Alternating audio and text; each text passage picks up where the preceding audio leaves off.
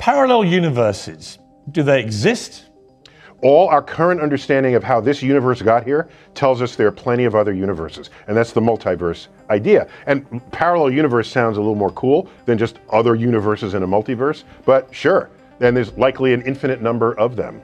Hence the possibility that I'm interviewing you on my show from London and you're here in the, you know, all combinations of all atoms and molecules and thoughts and neurosynaptic firings would exist in the infinite universes that are out there. You've actually don't think of suggested, I think you suggested you in the book, didn't you? You suggested that there could be a parallel universe where dreams are reality and realities are dreams.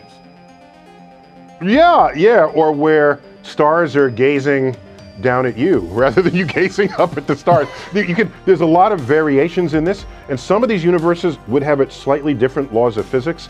So you don't want to visit them without full understanding of the consequences of that. You don't want to collapse into a pile of goo because the molecular forces that previously held your body together in this universe don't work in the other universe. That would be a dangerous, dangerous freeways to take.